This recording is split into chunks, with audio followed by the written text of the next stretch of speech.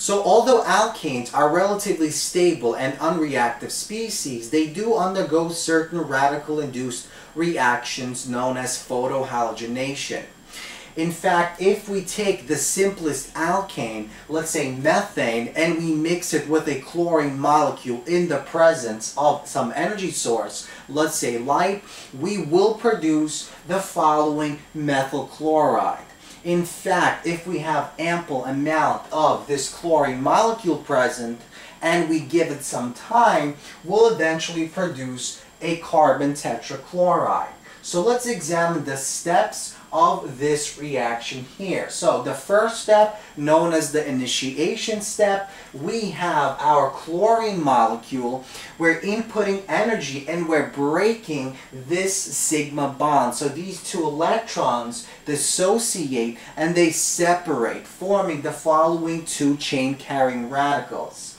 Now in the second step, or the second process known as propagation, we have this molecule, the methane molecule, we have the carbon H bond breaking and one of the electrons next to the H reacting with this single electron on this chain carrying radical form in the initiation step to form the following HCl bond and we reform our chain carrying radical, our new chain carrying radical. In the second step of the propagation step, we have the chain carrying radical interact with a chlorine molecule. So the chlorine molecule dissociates, forming a chloride radical, so our new chain carrying radical, and we form our methyl chloride molecule. So this is the propagation step of this first reaction. So let's examine whether or not this reaction is exothermic or endothermic. Remember,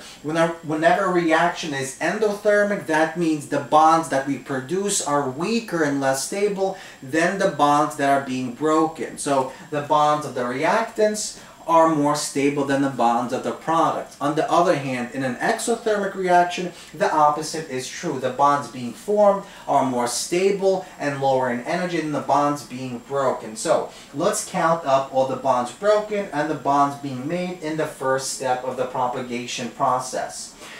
So the bond that's being broken is the carbon H bond, and that requires 105 kilocalories of mole of energy.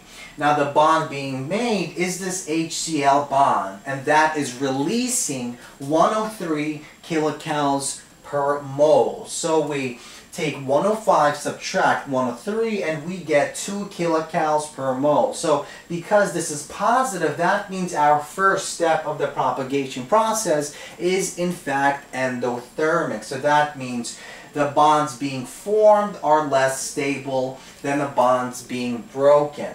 Now let's look at the second step. In the second step we have a chlorine molecule, so we have this Cl-Cl bond being broken, and we have one bond being made, the chlorine-carbon bond.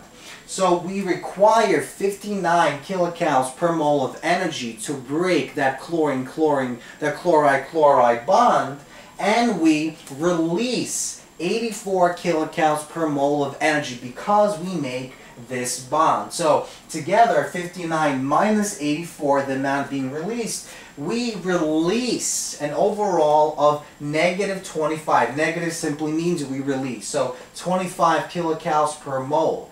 So this means that even though the first step we have an endothermic process because this second step is so exothermic, so much more exothermic than the uh, first step, that means the overall reaction will in fact be uh, exothermic.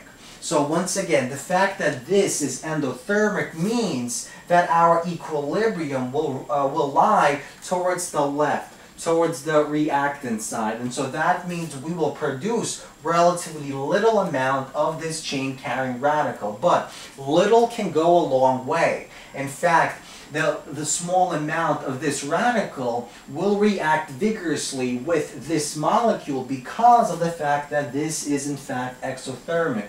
And equilibrium will lie towards the product side in the second step of the propagation step. So, Now, in fact, this is not the end of our reaction. Remember, we're assuming that we have ample amount of chlorine, and that means three more propagation steps can potentially take place. So let's look at our continuation step. So, in the second propagation step, we have the end, the product of the first propagation step react with another chain carrying radical. So this carbon H bond breaks, we form an uh, HCl bond, and we form the following chain carrying radical.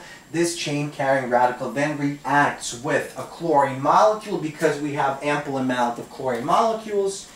So this uh, chloride-chloride bond dissociates, these electrons move apart. One of the electrons on this chlorine molecule, chloride molecule reacts with this electron, forming the following product of the second propagation step, reforming our radical. Now this same radical reacts with this molecule. In the third propagation step, we form this radical, chain carrying radical, and we reform our HCl molecule. In the second step of our propagation step, we have this chain carrying radical react with yet another chlorine molecule because once again we have ample amounts of that and we form uh, the following chain carrying radical and this molecule. This is chloroform. Now in the final step we have the last propagation step take place, the first step and the second step, and we form our final carbon tetrachloride. So once again, we have four propagation steps taking place. Uh, we have one initiation place, uh, a, a, process taking place, and at the end we form our carbon tetrachloride when we have ample amounts of this chlorine molecule and we allow or give it some time. So once again, conclusion. When methane reacts with chlorine in the presence of light, a radical-induced reaction takes place as we saw. When ample amount of chlorine molecule exists and we allow it some time to react, the final product will be our chloroform. Now, in order for this radical induced reaction to end, we have to have the termination step take place. Now there are different types of termination steps that can take place. One example is the following. These two radicals, chloride radicals, can react exothermically, releasing energy, forming this bond, ending our process.